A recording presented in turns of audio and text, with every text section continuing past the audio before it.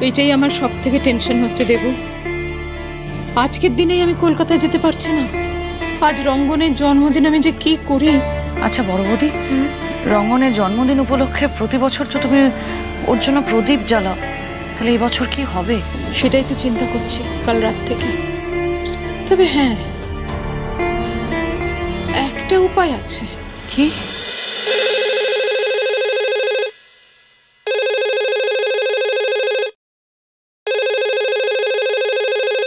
বাবা এখন কার ফোন আসলো।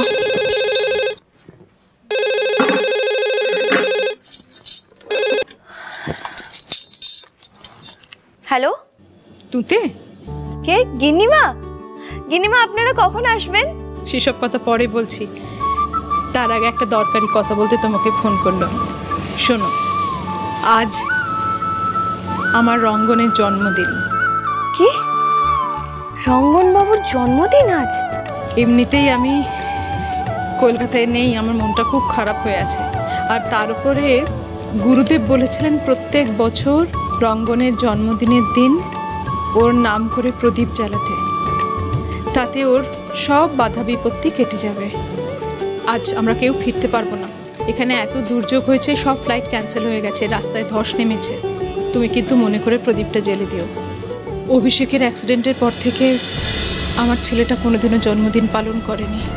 আজ এত বছর পর আমার অভিষেক সুস্থ হয়ে উঠেছে। আশা করি যে রঙ্গনও আজকে খুব খুশি। দেখো ও যেন জন্মদিনটা ভালো করে কাটায় আনন্দে কাটায়। আমাদের জন্য চিন্তা করো না আমরা হোটেলের মধ্যে আছি আমরা নিরাপদেই আছি। তোমাকে যেটা বললাম মনে করে করো কিন্তু। আমি? হ্যাঁ তুমি। তুতে একজন পুরুষ মানুষের জীবনে মায়ের পর সব থেকে বেশি অধিকার যদি কারোর থাকে সেটা তার স্ত্রীর। কেন তুমি পারবে না? বড় গিন্নিমা আমায় সত্যি সত্যি এবারের বউ হিসেবে মেনে নিলেন? না হলে এত বড় দায়িত্ব আমাকে উনি দিতেন না। এই সম্মানের দাম আমি নিশ্চয়ই রাখব। কি হলো? চুপ করে আছো যে? পারবে না? পারব গিন্নিমা। আজ আপনি যখন আমাকে রঙ্গনবাবু স্ত্রীর স্বীকৃতি দিচ্ছেন, তখন আমিও আপনাকে কথা দিচ্ছি। আমি পারব। এই দায়িত্ব আমি আমি নিশ্চয়ই পালন করব। আপনি আমার উপরে ভরসা করতে পারেন গিন্নিমা। মায়ের কি মাথাটা একেবারে গেল? তুতেকে দিচ্ছে রঙ্গনের বার্থডে সেলিব্রেশনের রেসপন্সিবিলিটি কিছুতেই আমি তুতেকে এই দায়িত্ব পালন করতে দেব না। আমি ওখানে নেই তো কি হয়েছে? সৌমিলি এখান থেকেই সবটা ভেঙে দেবে। আমাকে নিশ্চিন্ত করলে তুমি। আর একটা কথা আমরা যে বাড়িতে নেই তার জন্য যেন আমার ছেলে দুঃখ না পায়। দেখো ও যেন সারাটা দিন খুব আনন্দ করে মনের খুশিতে কাটাতে পারে সেটা দেখো। তোমাকেই পালন করতে হবে ওর জন্মদিন। তাই হবে গিন্নিমা। আমি ওনার জন্মদিন ওনার মনের মতন করে পালন করব। আমি কথা দিচ্ছি।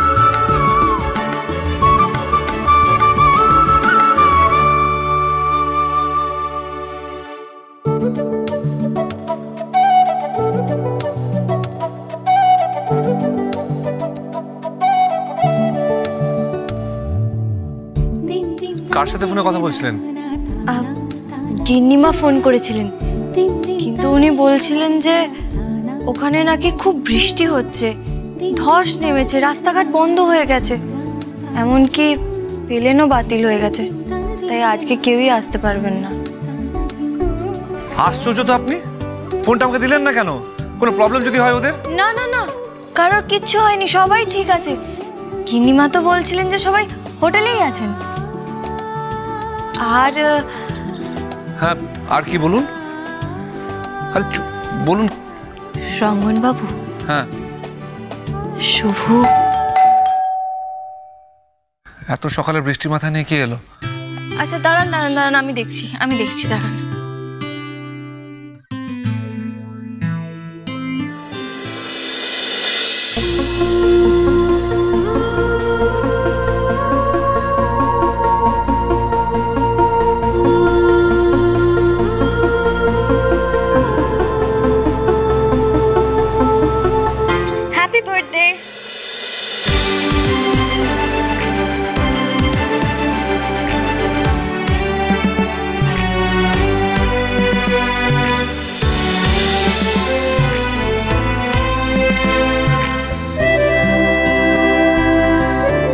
শ্রুতি তুই?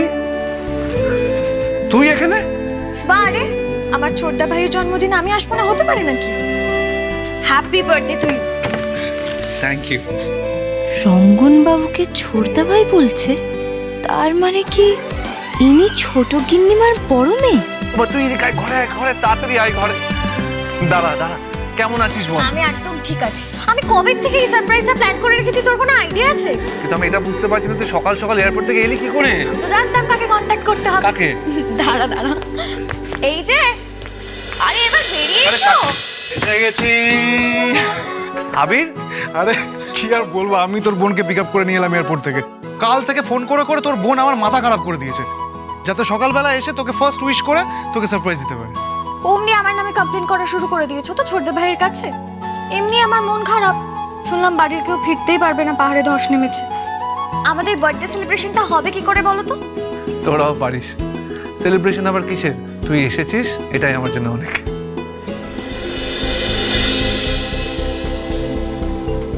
ওকে ঠিক চিনলাম না তো। কেউ?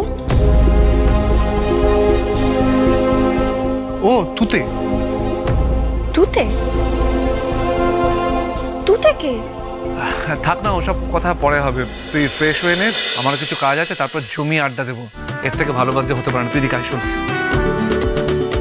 আবির বাবু একটু শুনুন না। হ্যাঁ। কি হয়েছে? আমার না একটা সাহায্য চাই। কি সাহায্য?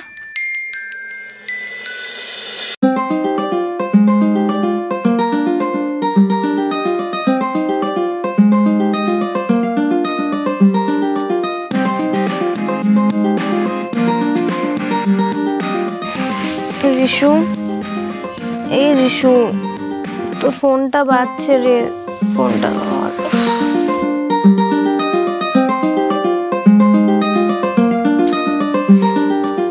ফোনটা তোল না ফোনটা বাজছে তো।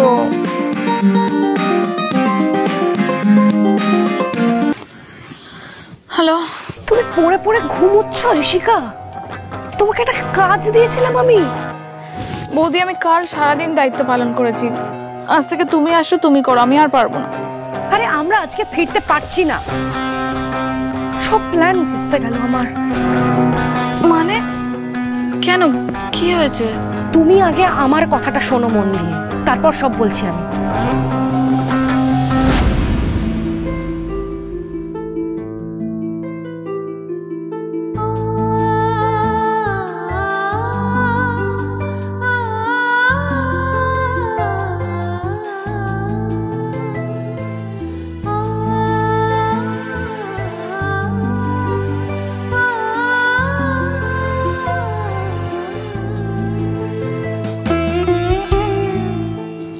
হে ঠাকুর, রঙ্গনবাবু যেন সারা জীবন ভালো থাকেন, সুখে থাকেন, সুস্থ থাকেন।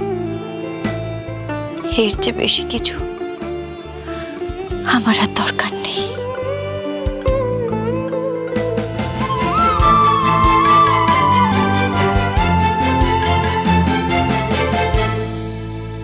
দিয়ে দেবনি, শিউলির দাদার নম্বরটা পেয়েছি।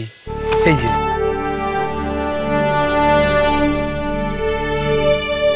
সিকিউরিটি দাদা? আপনি যে আমার কি উপকার করেছেন না? দেখি এই নম্বরে ফোন করে কেউ যদি ধরে। ফোন নাম্বারটা যে আমি তোমাকে দিয়েছি দয়া করে তুমি সৌমিলি ম্যাডাম এবং বাড়ির কাউকে জানিও না। জানোই তো আমার বাড়িতে বউ বাচ্চা আছে।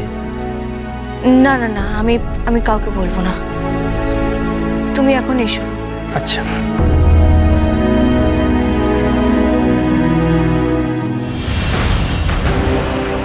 সিকিউরিটি দাদার কথা শুনে এইটুকু তো পরিষ্কার বোঝা যাচ্ছে যে এর সব কিছুর মধ্যে অভিষেক দাদাবাবু সম্পূর্ণ জড়িত আছেন। আর দিদিভাই সবটাই জানেন।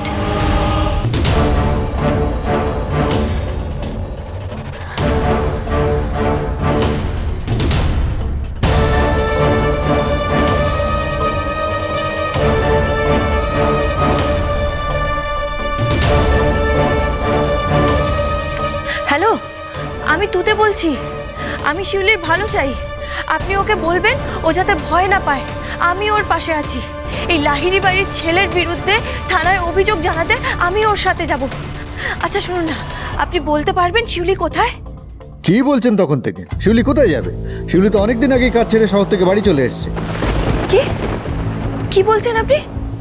না না আপনার নিশ্চয়ই কোথাও একটা ভুল হচ্ছে। আপনার মা বাবা তো ওই শিউলিকে খুঁজছিলেন কিছুদিন আগেই। শুনুন আমার বোনকে নিয়ে আপনাকে বেশি ভাবতে হবে না। আজকের পর আমাদের আর ফোন করবেন না। না হলে কিন্তু আপনার বিরুদ্ধে পুলিশে অভিযোগ করতে বাধ্য হব। আর অভিষেক দাদাবাবু তো আমাদের কাছে ভগবান।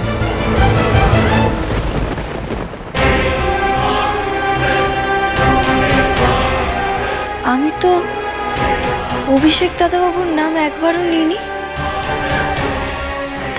উনি অভিষেক বাবুর নাম বললেন কেন? আর আমি তো নিজের চোখে শিউলিকে দুদিন আগেই এখানে দেখেছিলাম। তার মানে এটার পেছনে গভীর কোনো ষড়যন্ত্র আছে। তুতেও এর সমাধান না করে কিছুতেই হাত গুটিয়ে বসে থাকবে না।